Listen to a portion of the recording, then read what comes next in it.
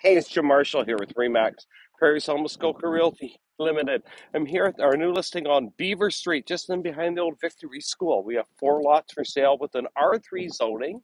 You have 264 feet of street front on Beaver Street and eight tenths of an acre. The R3 zoning lets you do lots of different types of things.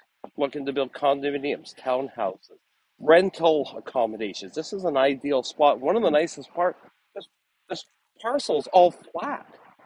There's no rock. It's Parry Sound, no rock. Kind of ironic, but yeah.